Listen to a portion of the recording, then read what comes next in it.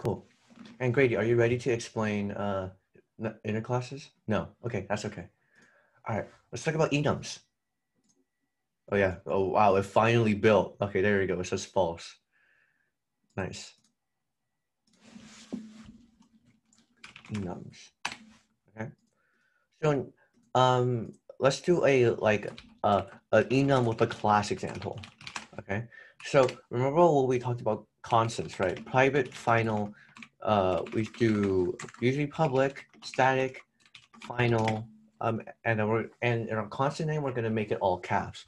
So for now, I'm a mock developer and production modes. Okay, so developer is equal to zero. Uh, make this an integer. And then this is uh, production. Okay. Actually, let's do robot status. Disabled, enabled, uh, enabled, and we're going to put in autonomous.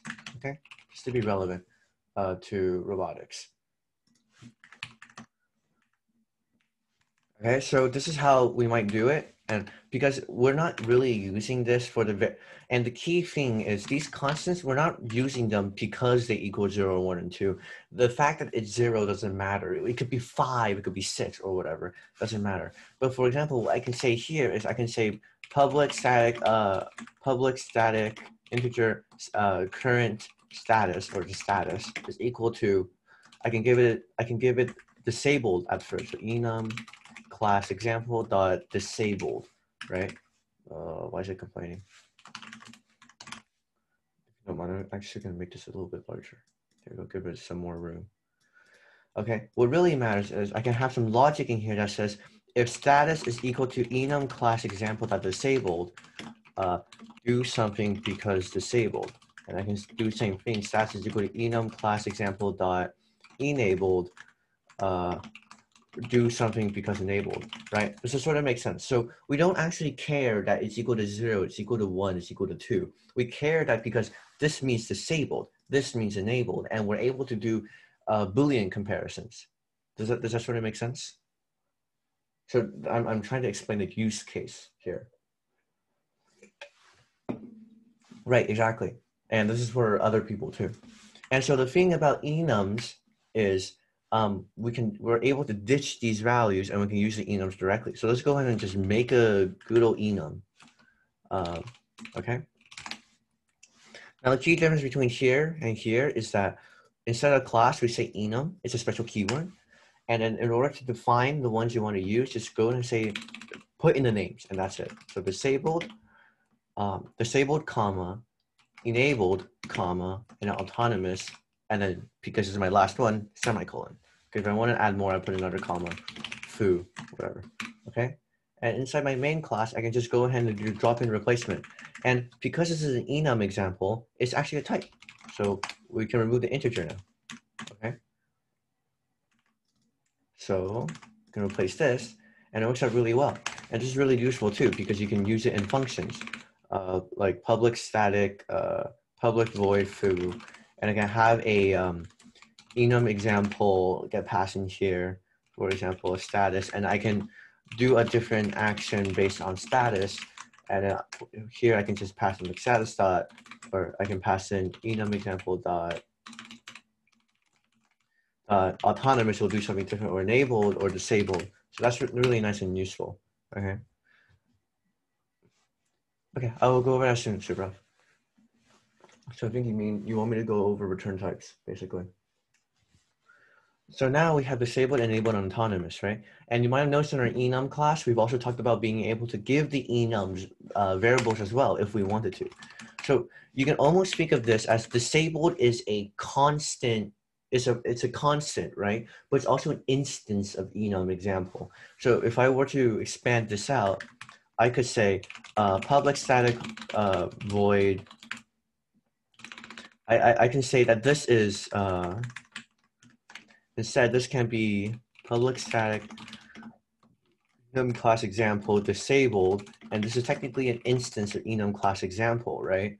And then uh, same goes for, let me just expand this, e, uh, enabled, right, etc. So these are, uh, and with an enum, uh, here. These technically act like separate instances. So we can actually make it, we can actually make a constructor. For example, what if we say we do care about a number? Okay, what if we do care to disable is zero, one, and two? We can attach that to the names as well. It's like additional information, you know? So we can go and say we expect the integer, we're going to say num, okay?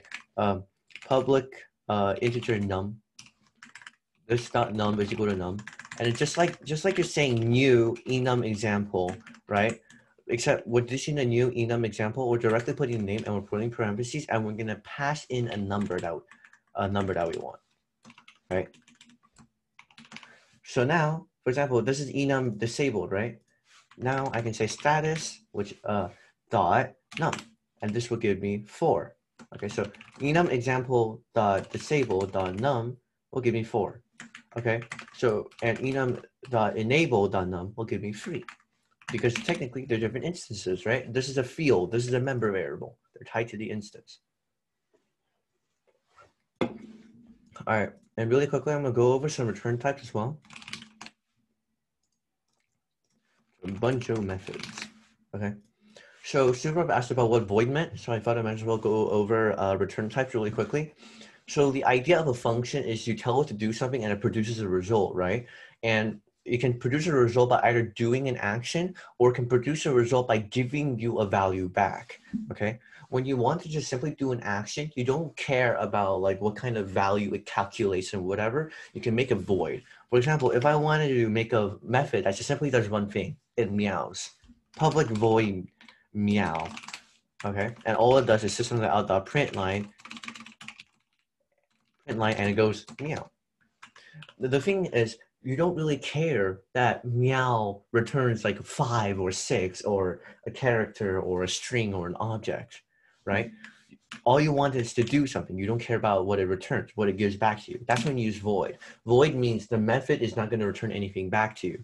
In fact, if you try to if you try to system.out.println what meow returns, you're going to get null, meaning no value. Okay, but but but but if you say you did want to get a value back, for example, you're trying to square two numbers or you're trying to multiply two numbers together. When you multiply two numbers, you expect a number back, right? So I'm gonna go ahead and just cheat a little bit and just use number, but I can, but now I can say uh, multiply. I can say uh, number num one, number num two, and I can say uh, return number num one dot double value times num2 dot double value. Is, is this valid? Oh no. Right? So technically, here, um, I'm returning a number, right? Because I, I'm, uh, whoever's using this method is gonna give me two numbers. I'm gonna multiply them together and I'm gonna give you the multiplication back. That's why return is really important here. We can't say void. Alternatively, if you're not familiar with a number, uh, you can also go in and just use primitives. This is this works fine too. I was just trying to showcase that it works for classes as well. Okay. Does this make sense to you, Ralph? Return types. Void return types.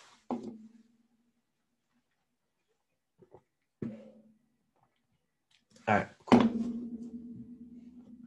All right, there's um hmm lambdas, right? All right. You know what? I feel like it's better if we watch a video on lambdas because I have a feeling I uh, I don't think I can talk about lambdas very efficiently. So let's just watch a video. Let me pull it up for you guys right now.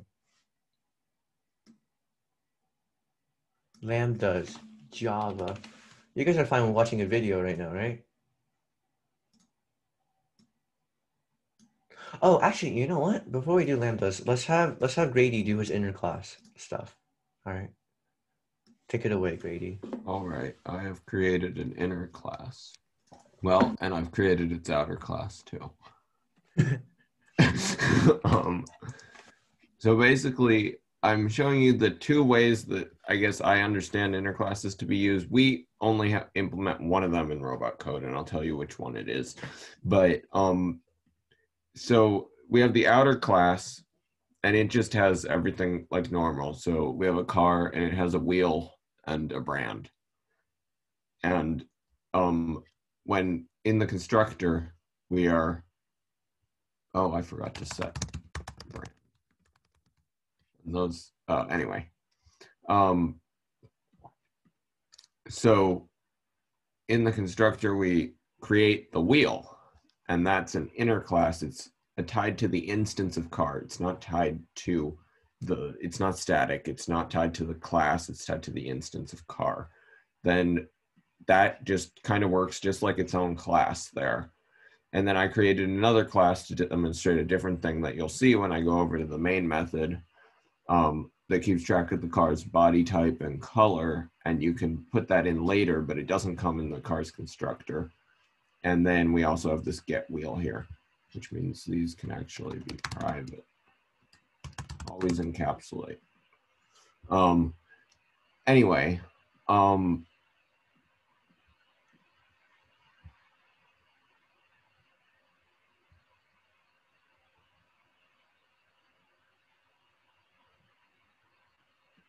anyway, so um, we have we can make a car and put in the then we can use car dot get wheel and as we know wheel refers to the wheel which is a wheel.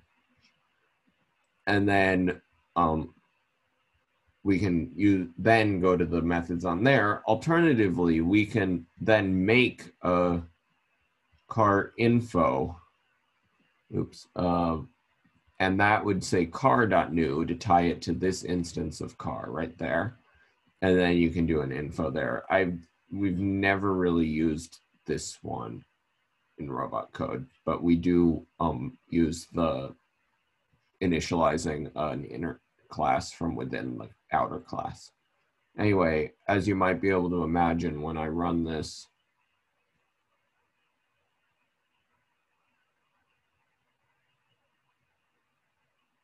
it I must not have been running what I thought I was.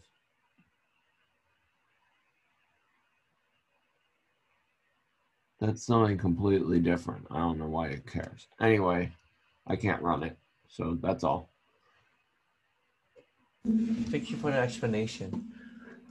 All right. Uh, does does inner classes sort of make sense to everybody? So really, the only reason why you would not the only reason why, but inner classes are really good for when you need uh, when a class is only really in, initiated inside its outer class. So a helper class for the outer class, you know, right?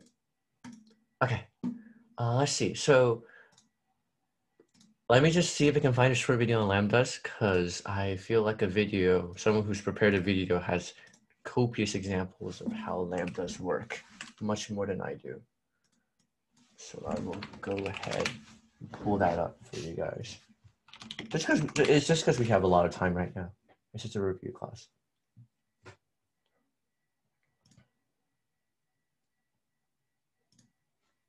Oh no, let's not. Okay. Uh, wow, people can talk about lambdas for a very long time. Okay.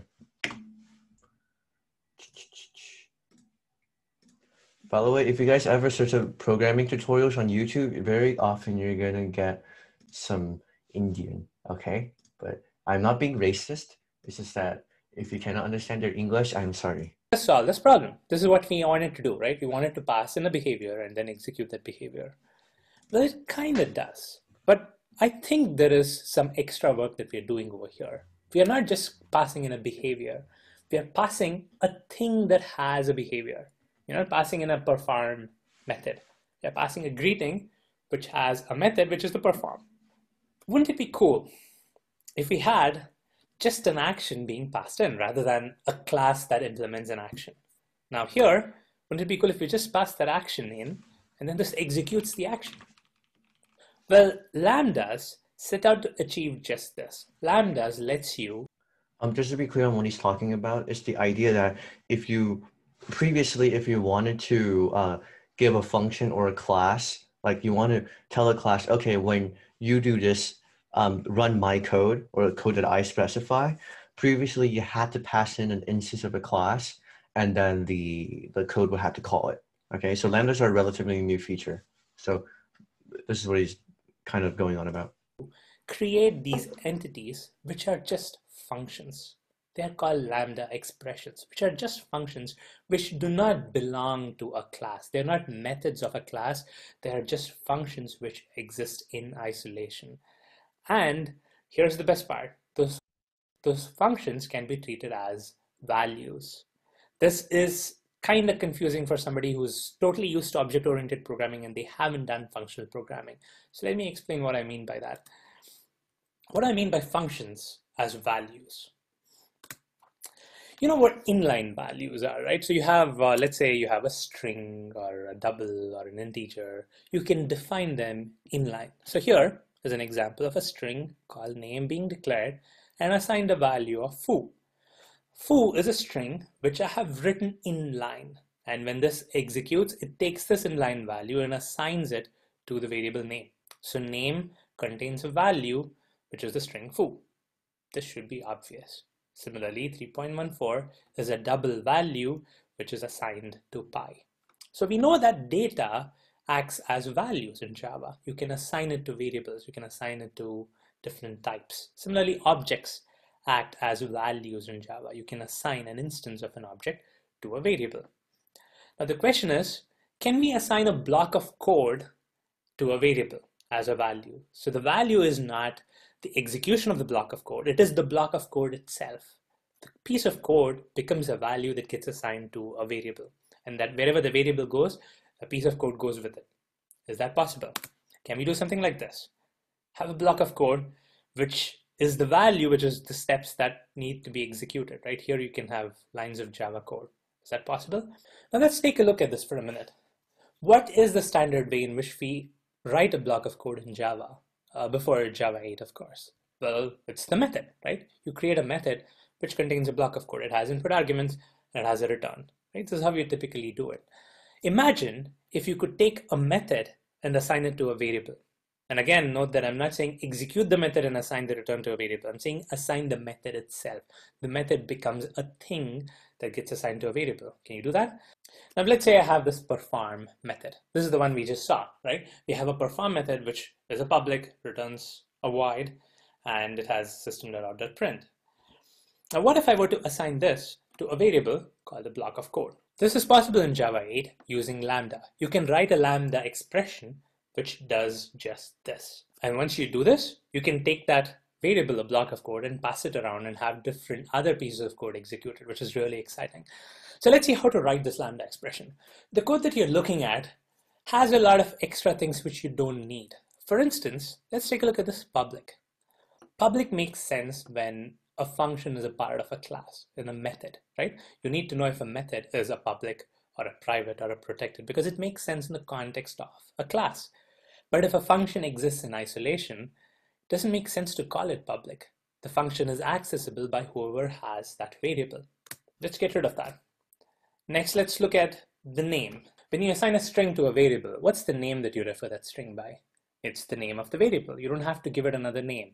Similarly, when you assign this function to a variable called a block of code, the way you refer to this function is using that variable name. You're going to use a block of code name to access the function, which means that it doesn't need this other name. So let's get rid of that too. Now the creators of the Java spec could have rested here and say, okay, this is how you create a Lambda expression, but they actually went a step further. Now you see, when you look at this code, if I were to show you this code and say, can you tell me what the return type is? You don't need to look at this void. You can actually look at the code and figure out what the return type is, right? It doesn't return anything, so it's a void. So the Java compiler is now smart enough to do just that. The Java compiler says, hey, if you're writing a Lambda expression, don't tell me what the return type is. I can look at the code and figure it out. If you have a return 5 over here, the compiler knows, yes, this is something that returns an integer. If you have a return hello world here, it knows this is something that returns a string. If it's an object, it knows what type it is. So the compiler will know what the return type is based on the expression itself. So turns out in Java 8, you don't have to provide the return type over here for a lambda expression. So even that goes away. So this is what's left. Uh, Loic, so this is the process of trying to convert, like turn perform, which is a standalone method, into a block of code that you can put into a variable. So yeah, basically nothing. These are the elements that you need to provide function. in order to write a lambda expression. So we took a function that we know, we know how to write that method, right? We started out with the perform method. So we removed all the things that we don't need to specify when that becomes a Lambda expression. You don't have to specify public for a Lambda. You don't have to specify the return type. You don't have to specify the name. So with that, what's left is this parentheses, which indicate the arguments, and then the block of code, okay? So the syntax is pretty much this for a Lambda expression, except for one small addition. The addition is you need to put this symbol over here. You need to put that between the parentheses and the block of code. If you put this, so there you go, you've got your Lambda expression. So, uh, so Loic, you asked me about um, why you can't just directly say perform instead of a block of code. Uh, the reason is because if you if you wanted to pass in a method into like a constructor or a method and the code runs, so excuse me, uh, you run that method, uh, you always have to put it into a class. You have to put in a runnable or whatever. And that syntax is very, very verbose in Java. And Java's already known to be a very verbose language. It's a bunch of clutter. Like it, it makes the code look really messy and it ruins the flow of the code. So using lambdas lets you write more elegant code that is easier to work on, easier to understand. Okay? If you know how to write a method in Java, you now know how to write a Lambda expression in Java. You need to convert these steps in your mind till you get comfortable, and after that, you'll be writing these expressions directly. In order to write a Lambda expression, take a method, remove the modifiers, right? You don't need the public private, you don't need the name of the method, and you don't need the return type. Now, what's left is a Lambda expression except for adding the symbol, which kind of looks like an arrow. Okay, you put this between the parentheses and the curly braces. It's just a hyphen and the bracket. Expression. Now this lambda expression can be assigned to a variable. You can actually do this in Java 8 and this variable contains the value which is that function. All right. There is one further shortcut that you can do if your body of the lambda expression is just one line. Here is just one line, that's system.out.print. So if that's just one line, you can actually remove the curly braces. So it just becomes this you have the parentheses, the arrow, and then that line of code. But remember, this is only if you have just one line of code in your lambda expression. If you have multiple lines, then you're going to need the curly braces. Okay, this is how you write lambda expressions. All right. Uh, how, how do you guys think of that video? Uh, green check mark, X, red X. How do you guys think? All right. So hopefully that clears up a little bit of the lambdas. So basically, a lambda, you really use a lambda to shorten uh, the code and uh, make it very easy, and the keyword is easy, to pass code around, right? So instead of like passing around only values, because that's what it was before Java 8, before lambda expressions were introduced, you can now really quickly and easily move code around uh, through the code. And that's what uh, makes lambdas really useful, okay? And so, yeah, the whole point Oh, sorry, Grady. Do you want Can to I jump in? And the Yeah. type of the ex- lambda expression is effectively a runnable. Exactly. Yeah, it, it's basically effectively a runnable. And um, uh, Loic, yeah, the point of a lambda expression is instead of saving, instead of saving to a variable, what happens when the code is run? For example, when you run a method, the code is run and it returns a value, right? Whether it's null or an integer or a double. Um, but the idea of the lambda is you save the code to a variable, right? So it's kind of like, for example, you know how you, uh, for example, let's say you write a really cool program on your computer, right? You write a really cool Java program, does something really cool. So you build it into a jar file and you're like, hey, bud, I, uh, let me send this over to you. And then you can go ahead and run the code on your own computer. It's, it's kind of the same way. A method can take some code and it can give it to another method and then the, the method can go ahead and run that code by itself. And yeah, Amrik, that's okay. You can go now. Bye-bye. Thank you for coming. So it, it's this transfer of code that makes Lambda really unique. And something that's not mentioned in this video is you can also do method expressions. Okay, uh, method expressions. So for example, do you see this, um, for example, this meow, right? Uh, this meow, for example, let's say um, I have a method here that does do uh, run a method. It's a little bit of an arbitrary method, but let's just assume it exists. Okay, it takes in a runnable, right, and it executes the runnable. Remember what Grady said at Lambda It's basically effectively a runnable, right? Um, and so that's why a runnable is really nice to use for this. If I, I can say run a method and I instead of using defining my lambda here, and I'm like, I need to make a static, public stat, public static void. Right, there we go. Yeah, instead of defining a lambda and going here, system at the print line, meow, what if I have a bunch of these all in the code, it's gonna get cluttered up really quickly. So the proper way is to separate into a method, right? But you can still use lambdas. You don't have to make a runnable every single time. I can make a method reference. So here I have the meow here, right? I'm just gonna make it static. So I have a bunch of methods. I'm gonna go ahead and reference the name and I'm gonna say uh, colon colon meow. And basically I have effectively turned this method into a lambda expression and I can pass it into run a method. So Hey, Samuel, Mhm. could you rewrite that statement as a lambda so that people can see how it would be? Yeah, so uh, so these two are effectively the same thing, are effectively the same code. That wasn't my intention. uh, Um, what do you mean? The lambda where you say bunch of methods dot meow. Oh, oh, oh, sorry, sorry. Yeah, yeah, you're right. Okay. And the thing is, if we wanted to run bunch of methods, meow is the traditional ways you reference the name and you say dot meow, right? But the thing is, whenever you put these parentheses that wasn't here- what I was saying either, but okay. okay. These parentheses mean you're going to run the code either way. But when you say colon colon, you're referencing the method's code. You're no longer referencing what the method returns. So that's why you could turn this in. Wait, I'm so I'm sorry, Grady. What am I supposed to explain? Do you want I'm want me to putting it in the chat. Okay, okay. All right, bye, Samri. Thank you for coming.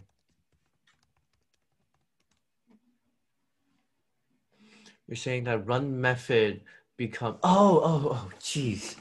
Okay. Simply uh, so that people can understand exactly what the method reference does.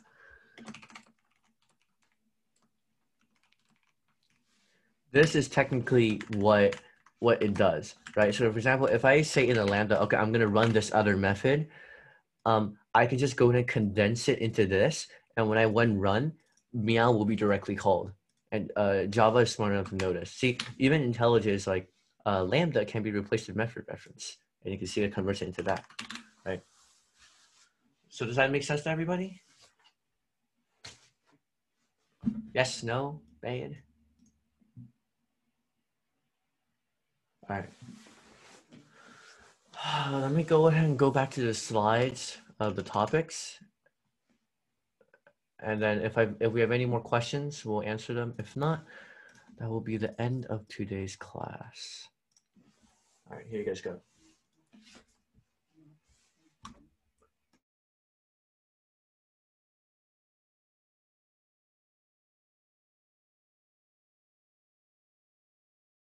Okay, sure, Ralph. You want to go over over array list? All right, I'll just go over the uh, go over the slides then.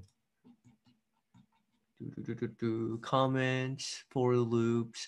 Here we go. An array list. So, uh, Ralph. Uh, are you familiar with arrays, like just normal, good old arrays like this? Right. Yeah. So it has a fixed size. Um, and if you want to access the first one, you say zero. The second one, you say one, etc. Right? And it has some fields. It has the dot length attribute, whatever, whatever. Array list basically converts it into a object. It's un, it's technically extends or implements a collection, which is like a massive library that Java gives you, but I won't go too deep into it. But basically, array list. The real benefit of an array list over the other one is that you can change the size of an array list.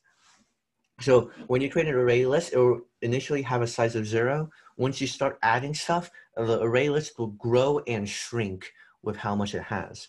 Okay, but otherwise, it has the exact same function as a primitive array. Okay, so array.get zero is going to give you the element at index zero, aka the first element. If you say array.size, it will give you the size of the array list, aka array.length. Right. So uh, array list has many methods, which you can see here that um, are very similar to a normal array, except that array list can grow and shrink. So you can still do, for example, if you want to traverse over it with like the for loop, you can do for integer i is equal to zero, while i is less than array list dot size i and you just array dot get, right? Same idea, but um, because array list is an object, it it basically get it can give you a lot more features that a normal primitive array can give you, even more than just giving the ability to resize the array constantly. So for example, in this third line here, I'm gonna get my pointer. In this third line here, I can insert an array at a very specific index. If you wanted to do, um, if you wanted to do it, um, if you wanted to do a, um, if you wanted to do this with a normal primitive array, you will have to do like a loop. You have to save all the variables and you have to shift everything. It's a very complicated process. Here, we can just directly insert it into a specific spot. Okay. And we also have remove, which removes an element for you. And again, it just saves you a bunch of time and code. It prevents you from rewriting the wheel. And Suvrov just asked if there can be such a thing as a final array list. Technically, you can have a final array list, but when you say final, for example, if, if, if I was here, okay, if, if I had this class here, right, and I were to make this variable a final, okay, if I said final in front of here, right, technically I can still run add get and when not to array list. Array list will change. It's just that I can't reassign the variable to a new array list object. It will always be stuck with the same object. But I'm assuming what you're saying by final is that you cannot change any contents of the array list, right? And that actually goes into a different part of Java called the immutable array. Okay, there's a like there's a special um, immutable array class. Let's go to uh, uh, Java, uh, oh, yeah, it's an unmodifiable list. Okay. So an unmodifiable list extends list just like array list does. So you can still use in all of your code, right? As long as you use list instead of directly specifying for an array list. Except if you try to run like dot set or dot add and whatnot to an unmodifiable list, you can see here, this is, um, let me zoom in. This is how it creates it. You can create an, oh, oh, oh, oh, okay you can create an unmodifiable list by collections, which is a class in Java's built-in libraries. The unmodifiable list, and you pass in your array list, it will create an immutable list. And basically, if you try to say dot add or anything, it will throw an exception. So it will prevent you from changing anything inside the list. Make sense, Shivrov?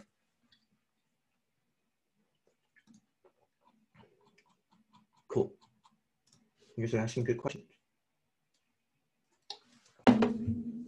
All right, do I have any more?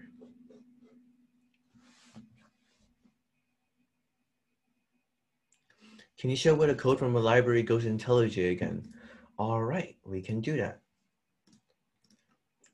So in IntelliJ, when you make a Gradle project, remember, it's the we're in modern times. We don't have to do any fancy importing or downloading stuff anymore. We could just directly use Gradle. Um, on the left, on the left side, you'll have a bunch of files and Gradle, there's some files in Gradle that you can use where you specify your library. So that's specifically in the build.gradle file, okay? And there's gonna be a bunch of jibber jabber here. For example, like what is group, version, repositories, Maven Central, blah, blah, blah.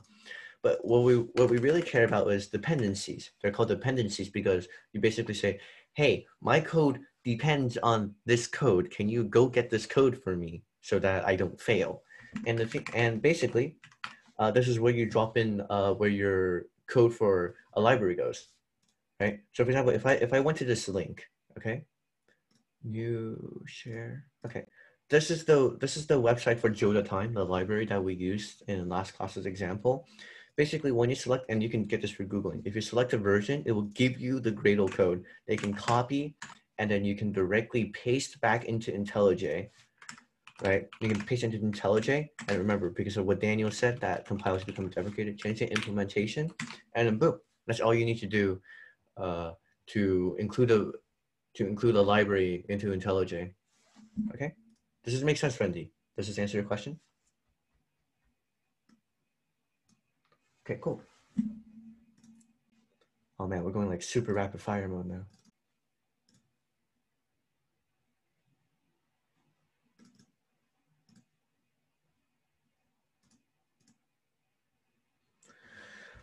Any more questions? Going once.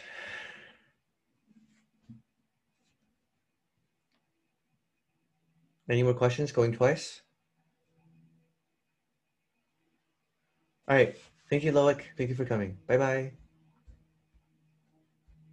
All right. If you guys feel okay about most of these where you don't have any questions, can you guys put like a green check mark or like a thumbs up in the participants menu? All right. Wendy seems to be fine.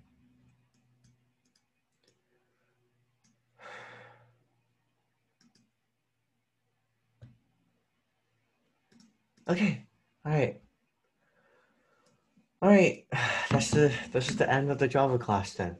I hope I answered most of your questions. Again, if you have any more questions about this, and I'm not gonna actually I'll put a photo of these topics into Slack. So if you guys want to DM either me, Grady, or Daniel for help on these topics, feel free to do so. We're always open for questions.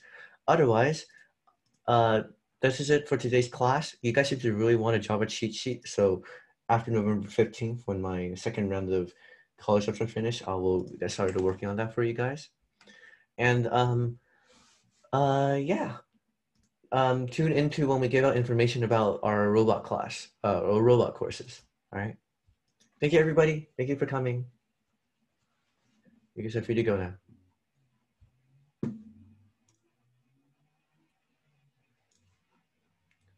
Do we come next Wednesday? Yeah, um, I'm gonna try to get I'm gonna try to get things ready by next Wednesday, so don't worry about that. Uh, but again, information about the robot class will be posted on Slack, without a doubt, within the next week.